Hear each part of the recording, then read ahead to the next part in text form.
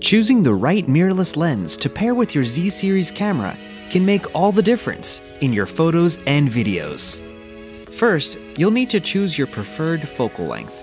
Focal length is measured in millimeters and specifies the angle of view of a scene, as well as the magnification of individual objects in the frame.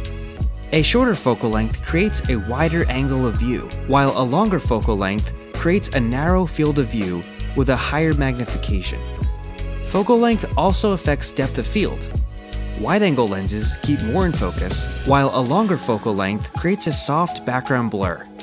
Wide-angle lenses are a popular choice for capturing wide landscapes and unique perspectives when shooting portraits.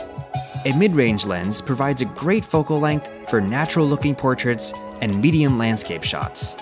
Longer lenses are an excellent choice for getting in close to your subjects and making distant portrait backgrounds feel closer.